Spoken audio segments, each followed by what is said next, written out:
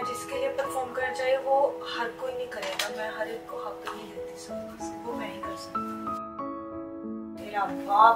शहनाज गिल ने कुछ ऐसा कह दिया है, जिसे सुनने के बाद शहनाजियंस और सिडनाजियंस इमोशनल हो गए हैं। और शहनाज गिल को और भी ज़्यादा अडोर करने लगे हैं। जी हाँ ये वीडियो दरअसल फ़िलहाल सोशल मीडिया पर वायरल है। इस वीडियो में आप देख सकते हैं कि शहनाज गिल अपना मेकअप कर रही हैं और ये वीडियो तब का है जब वो बिग बॉस सीज़न 15 के ग्रैंड फिनाले में पहुँची थी।